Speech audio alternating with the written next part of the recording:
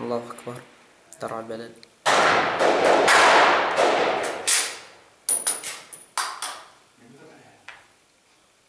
أبطال الجيش الحر. يقومون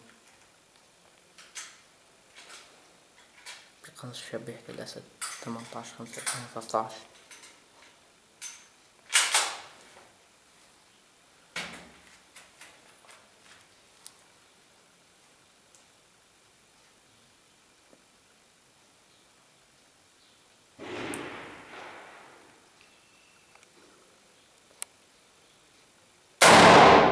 الله أكبر أبطال الجيش الحر يقوم بقنص شبيحة وعصابات الأسد 18 5 2013